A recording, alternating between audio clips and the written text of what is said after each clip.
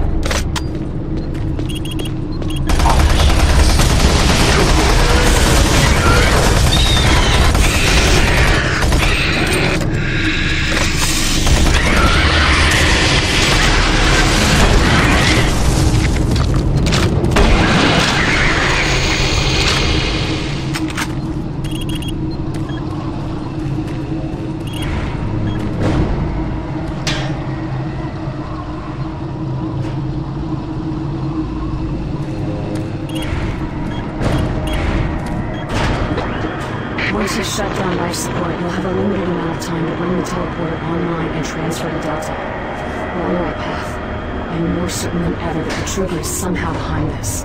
He's reaching out from the grave in one last desperate grasp of power. You need to end this.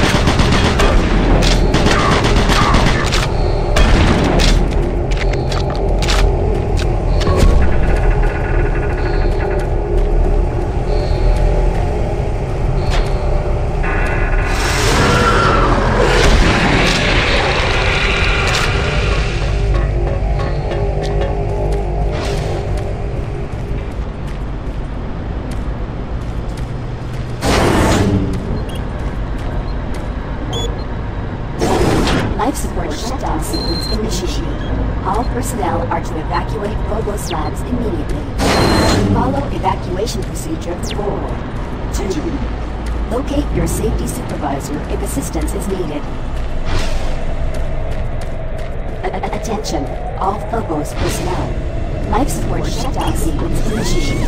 All personnel are to evacuate Phobos Labs immediately. Follow evacuation procedure 4. 2. Locate your safety supervisor if assistance is needed.